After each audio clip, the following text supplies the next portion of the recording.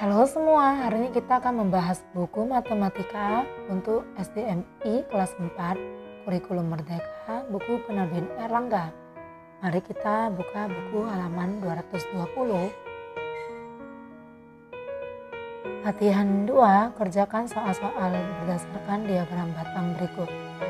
Di situ ada sebuah diagram batang yang menunjukkan data nomor sepatu siswa kelas 2 SD dari nomor 32 sampai 35 itu nomor sepatu dan di sebelah kiri ini banyaknya siswa. Sebelum kita mengerjakan soal yang ada di bawah, baiknya kita menghitung dulu nomor sepatu 32 dan nomor orang. Untuk nomor sepatu 33 ada 8 orang. Untuk nomor sepatu 34 ada 7 orang. Dan yang nomor sepatunya 35 ada sebanyak lima orang. Nah setelah itu setelah kita hitung baru kita mulailah nomor satu. Banyak siswa yang memakai nomor sepatu 34 ada titik-titik. Nah yang 34 kita tadi sudah hitung di situ 7. Jadi kita langsung tulis 7. Nomor 2 banyak siswa yang memakai nomor sepatu nomor 32. Nah udah kita hitung di situ ada 6 siswa. Kemudian nomor tiga, nomor sepatu yang dipakai oleh 8 siswa adalah kita lihat tadi yang kita hitung jumlahnya 8 itu sepatu nomor 33.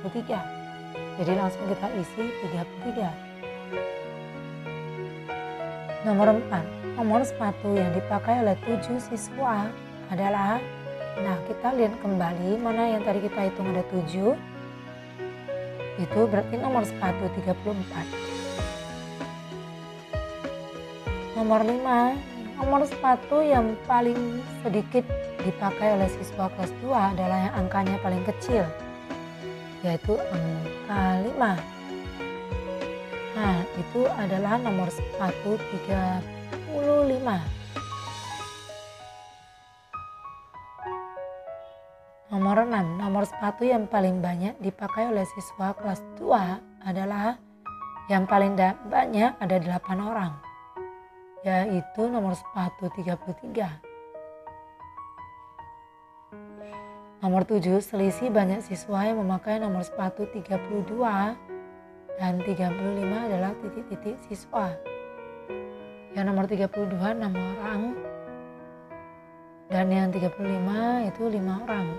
Nah, karena mencari selisih kita kurangkan. Jadi 6 dikurang 5 hasilnya 1. Jadi selisihnya satu orang atau satu siswa. Nomor 8 jumlah siswa yang memakai nomor sepatu 33 dan 34 adalah titik-titik.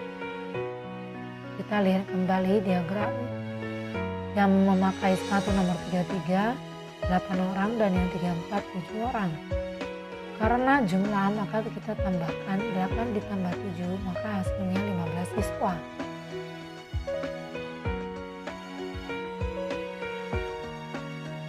Nomor 9 banyak siswa yang memakai nomor sepatu lebih kecil dari 34 adalah titik-titik. Yang lebih kecil dari 34 berarti 33 dan 32. Di situ 6 orang dan 8 orang.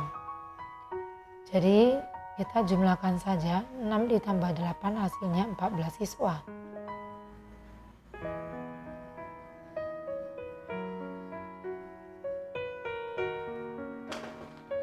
Nomor 10 jumlah siswa kelas 2 berarti kita langsung jumlahkan dari yang tadi udah kita hitung ini, angka-angka 4 ini.